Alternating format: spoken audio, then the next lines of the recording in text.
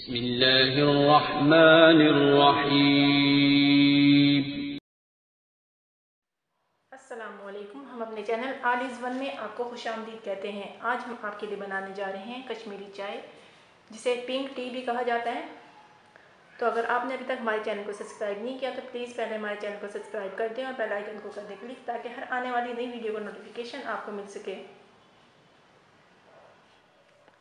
कश्मीरी चाय बनाने के लिए सबसे पहले मिल्क चाहिए हमें, फ़ोर कप। शुगर चाहिए, टेस्ट के मुताबिक मैंने हाफ़ कप ली है, आप कम या ज़्यादा कर सकते हो। ग्रीन टी चाहिए, तीन चम्मच। Baking soda, half teaspoon नमक, हाफ़ टी स्पून। दालचीनी, एक टुकड़ा। बादियान का फूल, एक अदद। सब्ज़ी इलायची, चार अदद। बादाम और पिस्ते हसबे पसंद। और इसके अलावा चाहिए ठंडा पानी। सबसे पहले फोर कप ठंडा पानी लेंगे।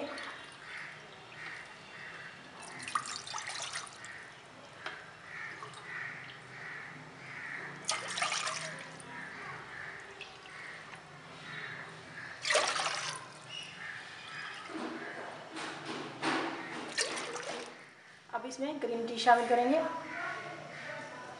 और साथ ही ये तमाम चीज़ें शामिल कर देंगे, इलायची बादियान का फूल और दालचीनी।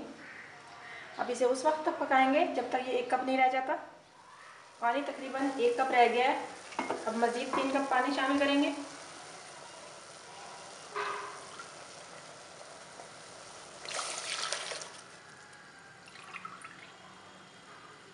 ठंडा पानी है ये।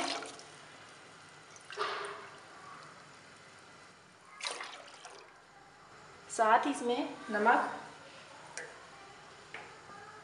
और बेकिंग सोडा शामिल करेंगे। और इसे अच्छी तरह फेंटेंगे और इसे इस वक्त तक पकाएँगे जब तक ये दोबारा एक कप नहीं रह जाता। पानी फिर से एक कप रह गया है। फिर तीन कप ठंडा पानी शामिल करेंगे।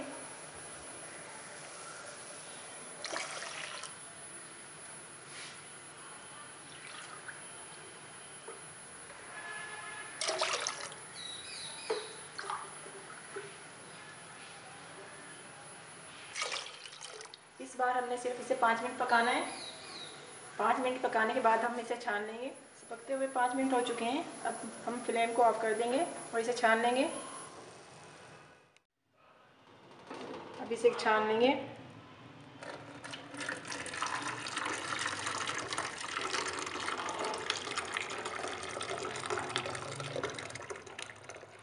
फोर कप दूध लेकर हमने इसे गर्म कर लिया है। अब हम इसमें चीनी शामिल करेंगे।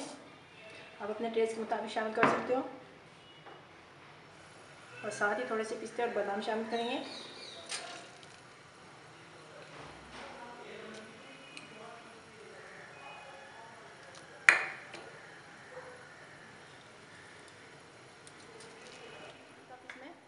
कहवा शामिल करेंगे, जो हमने तैयार किया है। आप अपने हिसाब से डाल सकते हो। वन कप दूध में, वन फोर कप कहवा डालेंगे? फोर कप में वन कप जाएगा। थोड़ी देर पकाएँगे। कश्मीरी या पिंक टी तैयार है। अब ऊपर से थोड़े से बादाम और पिस्ते डालेंगे।